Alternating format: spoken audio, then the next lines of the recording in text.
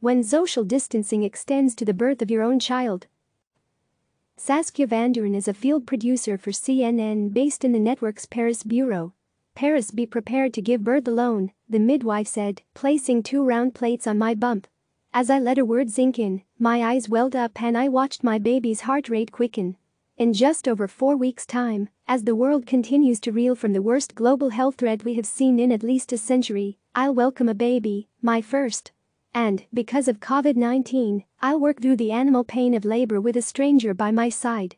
A midwife, not my husband, will be the only person who can hold my hand. During a pandemic, it is of course a privilege to be worrying about the circumstances surrounding a new life, rather than mourning the death of a loved one. As a journalist, I'm used to planning ahead.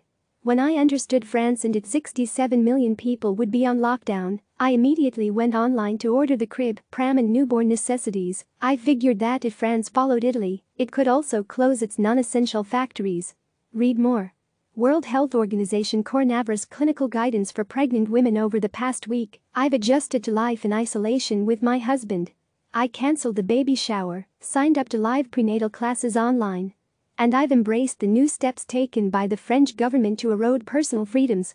To justify venturing outside my Parisian apartment for groceries or medicine from the pharmacy, I handwrite a government mandated permission slip and I walk within a kilometer radius of where I live. If I stray any further, I risk getting fined.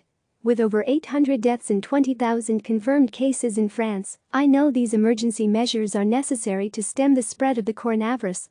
But as my maternity leggings grow tighter, so too does the bubble I live in, as restrictions make it ever smaller. I knew my parents wouldn't be allowed to meet the baby, but I didn't anticipate that my husband would be banned from the hospital, including the delivery room. In France, for now at least, the Ministry of Health has not announced a nationwide blanket ban on birthing partners, but some individual hospitals have deemed it necessary to protect patients and medical staff. A healthcare system in New York announced similar measures, CNN reported over the weekend. Hospital internet forums across the country are now full of anxious expectant mothers asking the same question. Can my partner be by my side when I give birth? Some are looking into the possibility of home births in an effort to avoid turning up on the day and being told their partners can't come in.